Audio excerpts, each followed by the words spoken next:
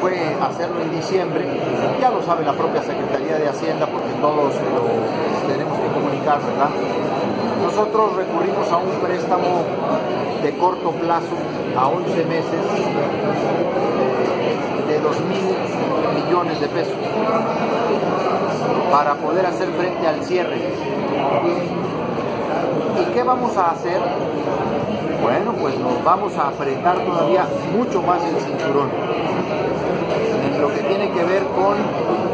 servicios personales, lo que tiene que ver con servicios generales, lo que tiene que ver con combustibles, telefonía. Vamos a tener que hacer un plan adicional al que ya habíamos planteado de austeridad para poder enfrentar esta posposición de recursos. ¿Habrá despidos?